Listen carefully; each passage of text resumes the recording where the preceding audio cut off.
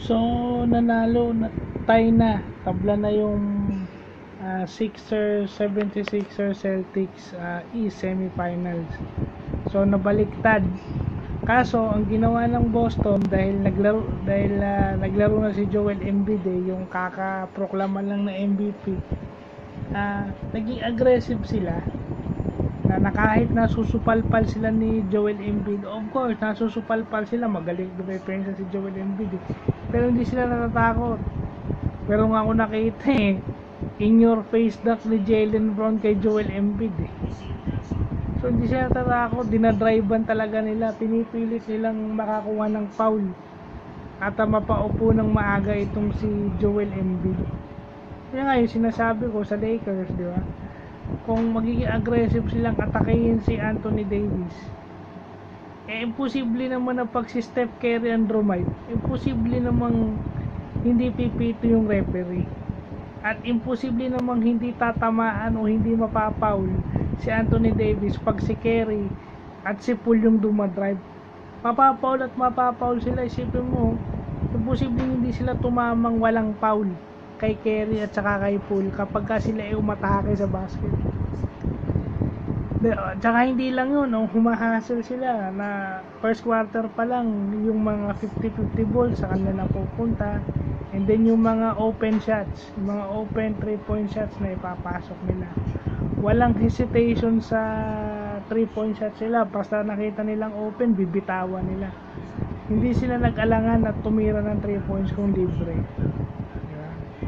Although sa Golden State, talagang titira, titira sila ng tres. Mga shooter sila. Kaso ang, ang ano, hang, yun na yun eh.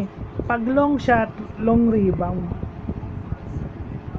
So may chance pa rin na kapag tumira kayo ng 3 points at nakasona yung kalaban, may chance na hindi sila makuha yung rebound. Kasi yung rebound yun, nakasona. So malamang sa inyo pa rin mapupunta yung bola. Pero dapat maging aggressive muna kayong atakihin yung pinaka, pinaka malaking, pinaka magaling na big man ng kalaban nyo. Kaya yung inatake si Embiid first quarter pa lang. So, saan, nag, saan nag-translate yun?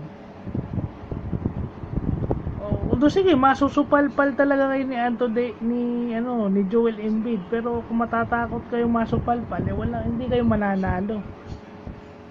Kasi yun na nga yun eh. Kaya sila tira ng tira ng 3 points kasi natata hindi sila makapasok eh. Dahil alam nila pagka tumira sila